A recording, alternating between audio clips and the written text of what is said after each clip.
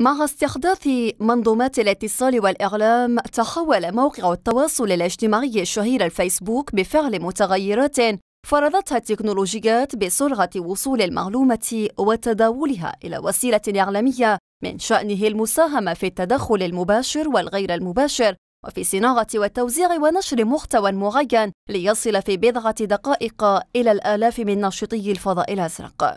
نجد أنه آه، آه، اليوم يعني آه، أصبح ضرورة حتمية خاصة يعني الفيسبوك. المعلومة حينما يعني تكون فيها مصداقية في المعلومة وفي الخبر حينما ينشر يعني رانا نسهل من مهمة المتلقي. لذلك نحن عبر صفحة غينيزان الأخبار نتحرى المصداقية والمصداقية.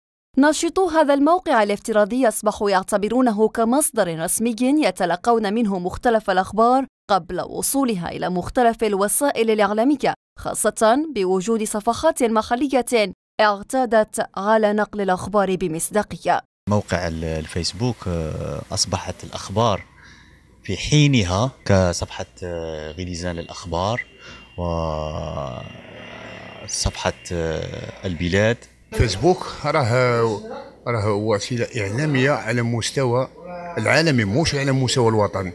راهم نشوفوا في الفيسبوك أشياء وأشياء تلحق قبل ما قبل ما تكون في الجرايد هذا وشرع عملاق التواصل الاجتماعي في مشروع سخافة الفيسبوك الذي أعلن عنه السنة الماضية حيث سيتيح بفاعليه تكاملا إعلاميا بين السخافة ومواقع التواصل الاجتماعي.